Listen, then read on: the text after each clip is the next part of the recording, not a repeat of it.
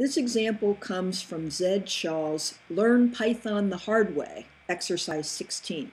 First, I created a plain text file in TextWrangler, which is a text editor for Mac. I saved it as test.txt.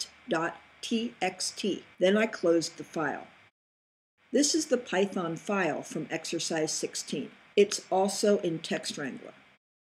I'm going to run the file in terminal you can see all the files in my directory, including test.txt.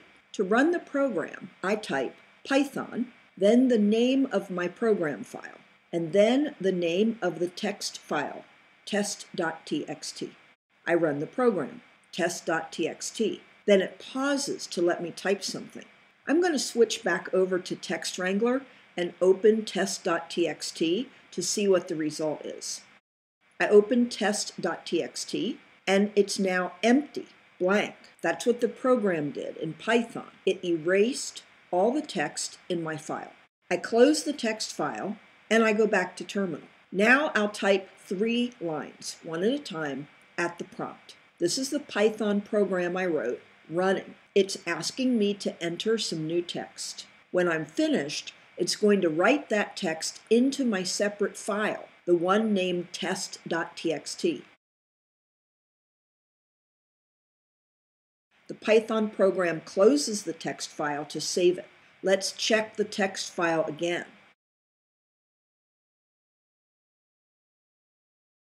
First, open it, and voila! The text I typed in terminal was written into this file by my Python program.